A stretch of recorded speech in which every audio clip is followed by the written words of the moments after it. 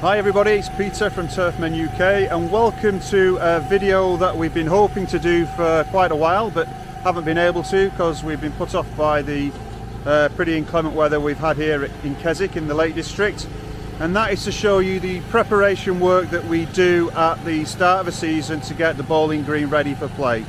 Uh, so I'm going to just turn the camera around and show you Mike who started work already. There he is, he's scarifying the green and will do two passes of the green with the Graden and the Graden is fitted, we fitted it this morning with the one mil width blades so quite a narrow blade. And we're going down to a depth of, well I'll show you the depth. I'll just get my coin and we'll put that in the one of the scarification grooves. Press that down and pull it out. And there we go we can see we've gone to a depth of two to three mil which what we're trying to do at the start of the year is to just freshen up the surface more than anything else. We're not trying to rip out too much material.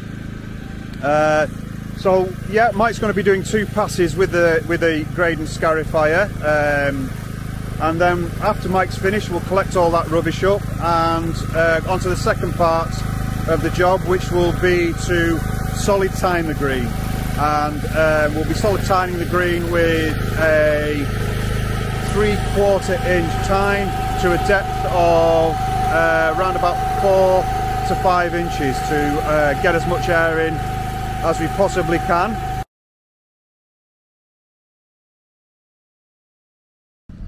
I've just finished two passes with the uh, Graden Scarifier at around about minus three mil so I've done two passes uh, as you can maybe see from whether you can pick those lines up but uh, yeah that's uh, you can see some of them there.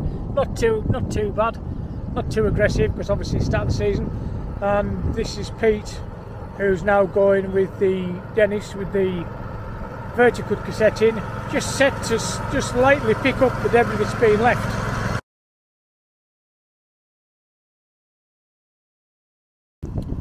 as you can see here these are the risings that we take out of the green uh, that's as you can see it's quite friable stuff. There's a lot of rubbish and not a great deal of what you would call live grass in there but you could obviously see there's a bit of dark uh, where the moss has come out.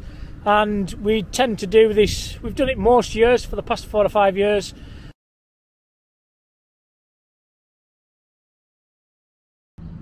So just to give you an idea of how much um, material we've taken off the bowling green today, um, that's before I've cut, so that's everything that's come off with scarifying and collecting. I would say there's a good uh, 8 to 10 wheelbarrow loads there that's come off today, which is a reasonable amount, but nowhere near as much as we would take off at the back end. Uh, so the idea really today was just to get rid of anything that's accumulated over the winter and to freshen the surface up which it's hopefully done. So Mike is now in the process of solid tining the bowling green to a depth of around about three to four inches to try and get in as much air as we can before the season starts and the wear starts on the green. Um, we're going to be top dressing next after we've done this to try and improve the uh, texture of the soil, make it more friable, get that uh, top dressing worked in as far down as we can. Uh, should help aid with uh, root development. So just to give you an idea of how far we've gone down in the green. Proper, see that?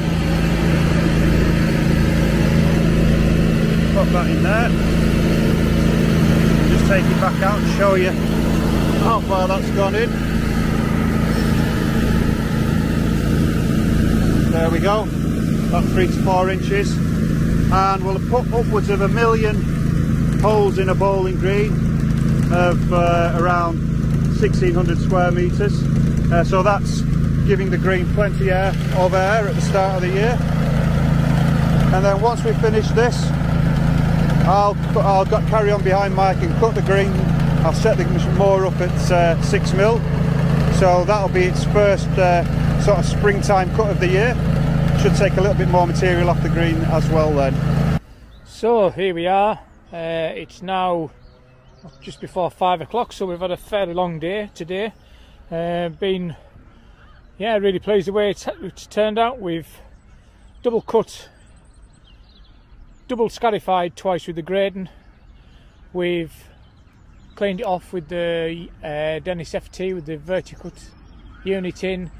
We've pro cored it, and Peter's just topped it off with the Dennis at six mil.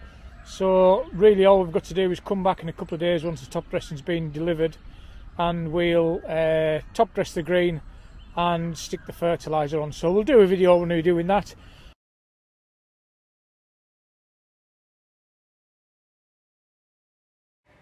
So we're back a couple of days later and as you can see we're applying our top dressing to the green.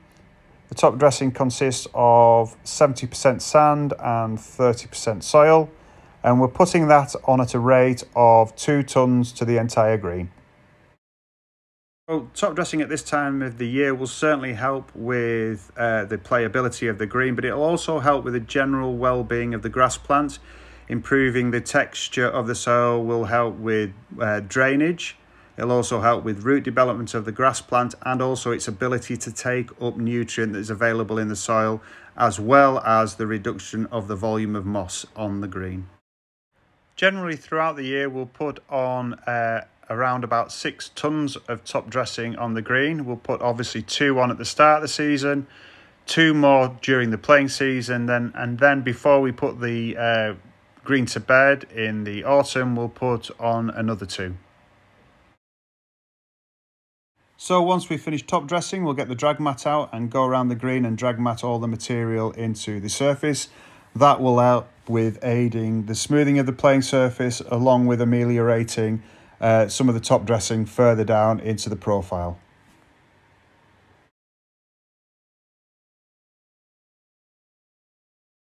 So Mike's completing the final part of the job, which is to apply the fertiliser. We're using Green Master Greenmaster Colstar, which is 11% nitrogen, 5% phosphorus and 5% potash with 8% iron.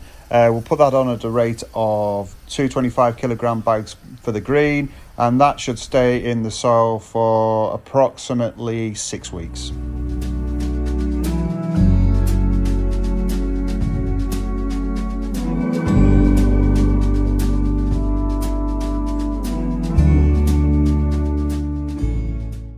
Have any questions, suggestions or topics that you would like us to cover, please leave them in the comments below.